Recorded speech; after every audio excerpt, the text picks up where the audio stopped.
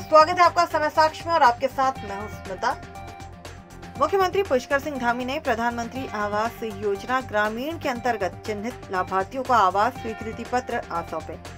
CM camp कार्यालय परिसर स्थित जनता दर्शन हॉल में आयोजित कार्यक्रम में मुख्यमंत्री ने प्रदेश के लाभार्थियों को प्रथम किश्त की राशि डीबीटी द्वारा ऑनलाइन जारी की। उन्होंने कार्यक्रम में 100 से अधिक लोगों को आवास स्वीकृति पत्र वितरित किए। मुख्यमंत्री ने घोषणा की कि प्रधानमंत्री आवास योजना ग्रामीण में प्रदेश के लाभार्थियों को आवास बन जाने के बाद सामान आदि के लिए पाँच पाँच हज़ार रूपए दिए जाएँगे। उन्होंने कहा कि राज्य सरकार सबका साथ, सबका विकास, सबका विश्वास के ध्येय वाक्य के साथ सरकार नहीं बल्कि साझेदार के तौर पर काम कर रही है।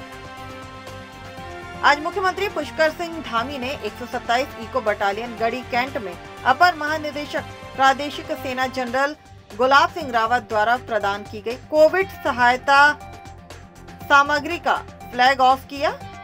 प्रदेश के दूरस्थ क्षेत्रों के लिए कोविड राहत सामग्री का प्रबंध 127 बटालियन प्रादेशिक सेना गढ़वाल राइफल द्वारा विभिन्न गैर सरकारी संगठनों के माध्यम से किया गया।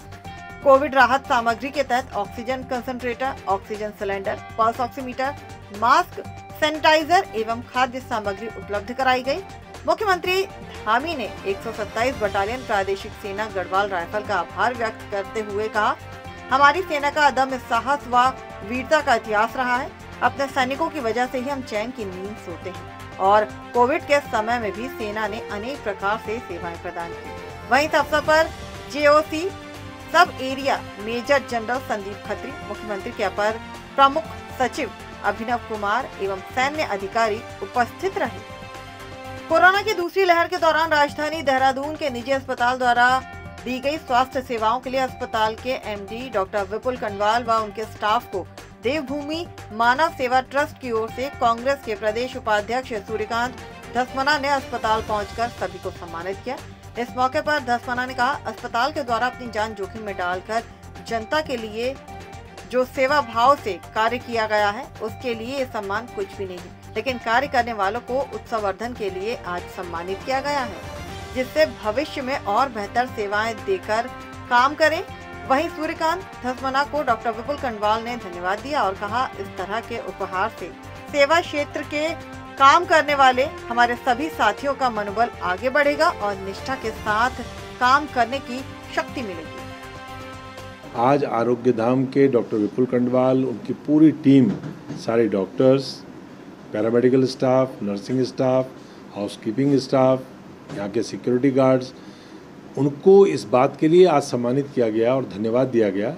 जिस प्रकार से डॉक्टर विपुल कंडवाल के नेतृत्व में उनकी पूरी टीम ने पूरे राज्य के तमाम लोग जिस समय तड़प रहे थे, ऑक्सीजन के लिए तड़प रहे थे, आईसीयू के लिए तड़प रहे थे, सस्ता और बेहतरीन इलाज जो कोविड काल में किया, उसके लिए आज हमने आपका स्वागत भी किया, अभिनंदन भी किया और सबको धन्यवाद भी कहते हैं कि हमारी पाँच उंगलियाँ बराबर नहीं होती तो वैसी टीम का मैं एक कैप्टन था तो कैप्टन के साथ साथ जो मेरी पूरी टीम थी, जिसमें मेरे नर्सिंग, मेरे कलीग, डॉक्टर लोग, नर्सिंग स्टाफ, खाना खिलाने वाले हाउस कीपिंग जितने सिक्योरिटी गार्ड थे, सबको आज श्री सूर्यकांत धसमाने जी की ओर से सम्मानित किया गया और उनकी टीम की ओर से, कांग्रेस की टीम की ओर से सम्मानित किया गया।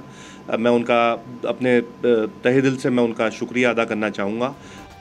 राजधानी देहरादून के जिलाधिकारी डॉक्टर आर राजेश कुमार ने आईएसबीटी देहरादून का औचक निरीक्षण किया। इस दौरान बस अड्डे पर चल रहे स्वास्थ्य परीक्षण बूथ का जायजा लिया।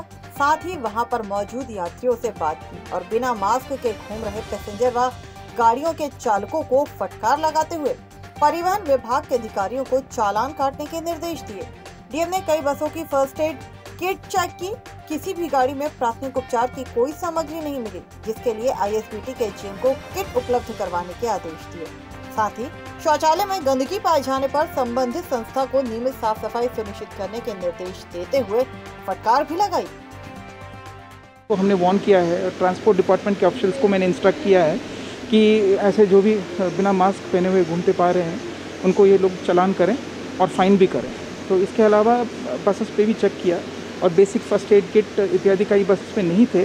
तो मैंने ट्रांसपोर्ट डिपार्टमेंट के ऑफिसर्स को रिक्वेस्ट किया है कि फ़र्स्ट एड किट एक बेसिक नेसेसिटी है हर बस में होना चाहिए और इमरजेंसी समय समय में अत्यंत आवश्यक है फ़र्स्ट एड किट का रहना। इसका अला, इसके अलावा टॉयलेट्स की व्यवस्था का भी मैंने निरीक्षण किया। काफ़ी खामियाँ पाई। और जो पीपीपी मोड में जिस कंपनी को दिया गया है रैम की तो उनको मैंने इंस्ट्रक्शंस दिए हैं पास ऑन किए हैं कि सफ़ाई व्यवस्था चकाचौंध रखें और रेगुलर टॉयलेट्स की क्लीनिंग होनी चाहिए। जिला ग्राम्य विकास अभिकरण द्वारा आयोजित प्रधानमंत्री आवास योजना कार्यक्रम के अंतर्गत विधायक भरत सिंह चौधरी व जिलाधिकारी मनोज गोयल ने योजना के तहत लाभार्थियों को प्रमाण पत्र वितरित किए। साथ ही बधाई देते हुए यथाशीघ्र आवास निर्माण कार्य प्रारंभ करने की अपील की।